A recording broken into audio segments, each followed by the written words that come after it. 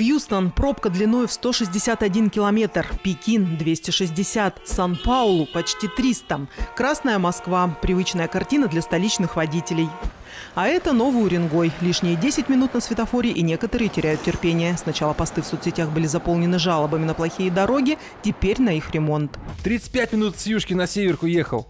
Сделали бы уже дороги там, где это действительно необходимо. Организация дорожного движения в Уренгое ноль. 15 мая, когда одну из центральных магистралей, соединяющих северную и южную части города, перекрыли, водители запаниковали. Видео с пробками заполонили все городские паблики. Домой, наверное, будем до ночи добираться. Это ужас, что пробка на объездной. А некоторые водители решили организовать свой собственный маршрут через жилые дворы и сами же создали там коллапс.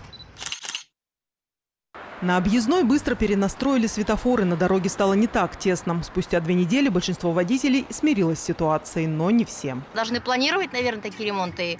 И как-то планировать так, чтобы они меньше длились, может быть, работать, я не знаю, в ночные смены. Раньше за 10-12 минут, сейчас минут 30.